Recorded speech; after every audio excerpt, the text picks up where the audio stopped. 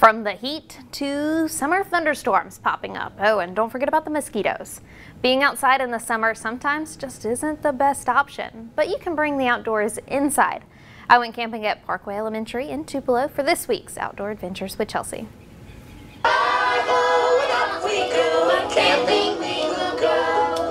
Grab your sleeping bag and tent. Children at Parkway Elementary in Tupelo now have a new activity. They can take what they learned about camping and being outside in the wilderness and bring it inside. They even learned about fishing. Oh I talked with one camper about what he likes about camping. Oh, my favorite part is the part when we go hiking up mountains and rocks. The Tupelo Fire Department also paid a visit to these campers to talk about campfire safety. It's no longer smoking anymore. It's fine to leave. You can go hiking or camping or whatever you need to do. And you can't go camping without. Since a campfire inside isn't safe, the s'mores were cooked in the microwave.